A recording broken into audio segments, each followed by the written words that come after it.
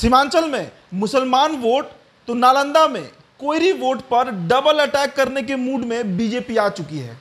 ऐसा हम इसलिए कह रहे हैं क्योंकि सीमांचल में पद यात्रा 18 और 19 मार्च को अवैसी करने जा रहे हैं। जी हाँ ए के सुप्रीम असदुद्दीन अवैसी। तो दूसरी तरफ़, विरासत बचाओ नमन यात्रा के मार्फत नालंदा में एक बड़ी जनसभा का आयोजन करने जा रहे हैं उपेंद्र कुशवाहा। अब देखिए, ये दोनों मिलकर सीमांचल, जो कि मुस्लिम बाहुल्य इलाका है, वहाँ पर अगर 2020 विधानसभा चुनाव को देखें तो करीब पाँच लाख तेईस हज़ार वोट अवैसी की पार्टी को मिली थी, जो कि बड़ा वोट है।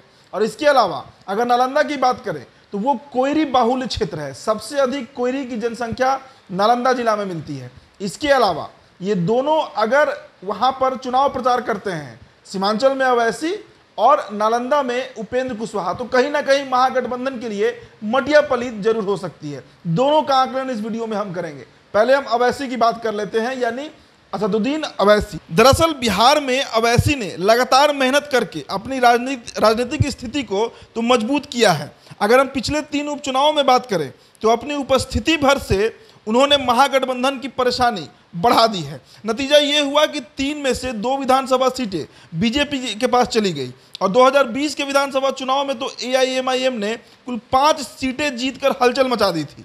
हालाँकि बाद में आरजेडी ने एआईएमआईएम के चार विधायकों को तोड़ लिया और 2020 के विधानसभा चुनाव में अवैसी ने कुल 20 उम्मीदवार उतारे थे। उनकी पार्टी को कुल पाँच लाख तेईस हज़ार दो सौ उनहत्तर वोट मिले थे। इसलिए लोकसभा चुनाव में अवैसी के उम्मीदवारों ने अगर अल्पसंख्यक वोट के एक हिस्से को अपने पाले में कर लिया तो कहीं ना कहीं इसका बेहद बड़ा फ़ायदा, आप कह सकते हैं सीमांचल के क्षेत्र में, जहाँ पर तीन से चार लोकसभा सीटें हैं, वो बीजेपी को ज़रूर मिल सकता है। जी हाँ और अगर उपेंद्र कुशवाहा की हम बात करें, जो नालंदा में उनका रैली होने जा रहा है, एक बड़ा आयोजन होने जा रहा है तो महागठबंधन की राजनीतिक उम्मीद पर पानी फेरने के लिए राष्ट्रीय लोक जनता दल के राष्ट्रीय अध्यक्ष। उपेंद्र कुशवाहा भी विरासत बचाओ रैली निकाल चुके हैं। राजनीतिक सूत्रों की माने तो कुशवाहा का मुख्य निशाना नालंदा है। वे मुख्यमंत्री नीतीश कुमार को उनकी ही ज़मीन पर पटखनी देने के लिए तैयार तैयारी कर रहे हैं।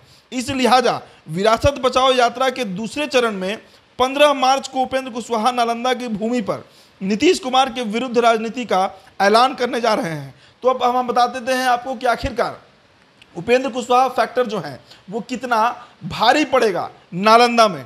देखिए, उपेंद्र कुशवाहा के नालंदा दौरा कितना प्रभावी पड़ेगा, वो तो अगले लोकसभा या फिर विधानसभा चुनाव में तय हो जाएगा। तो लेकिन, यहाँ एक बात आप जान लीजिए कि उपेंद्र कुशवाहा की नज़रों में नालंदा के कोयरी वोटर हैं। हालाँकि कोयरी समाज पूर्ण नालंदा में बिखरा पड़ा है, मगर कुछ विधानसभा सीट ऐसे हैं जहाँ वे प्रभाकारी मतलब प्रभावकारी साबित होते रहे हैं। नालंदा विधानसभा क्षेत्र में तो कोयरी वोट निर्णायक हो जाता है। कोयरी समाज के वोट जिसकी तरफ़ जाएगा, जीत उसी की होगी। नालंदा में कोयरी समाज, उसके बाद कुर्मी यादव भूमिहार के चौथे नंबर पर है। साथ ही साथ राजगीर विधानसभा की बात कीजिए तो वहाँ पर कोयरी समाज तीसरे नंबर पे है।